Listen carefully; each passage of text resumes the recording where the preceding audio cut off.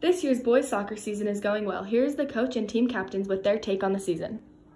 Uh, the season's going pretty well right now for us. We've been we started off really good. We had a rough week before spring break, but I think we're right on track and rolling really well.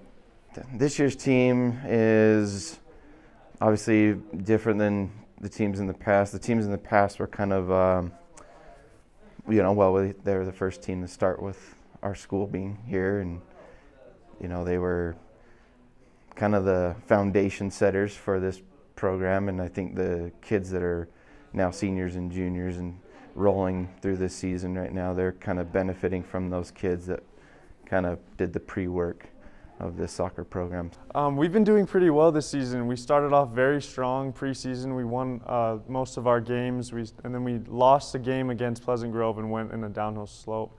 Um, we were able to get back on track and start our lead again. We haven't lost a game since last week, and I think we're going to have um, a real presence going into the rest of the season.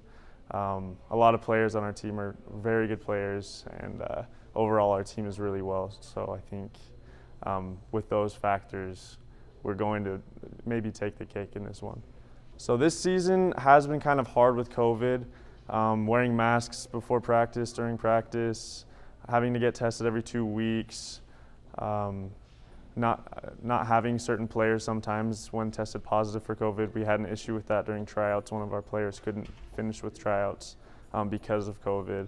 Um, it's kind of just added an extra factor of stress to our season. Um, but we've been able to get through it, and with um, most of the regulations in place, we've been doing well with um, staying safe and keeping everyone healthy for the season. Go watch our boys soccer team play tomorrow at Bountiful. This has been Ellie Roberts reporting for your Nix News.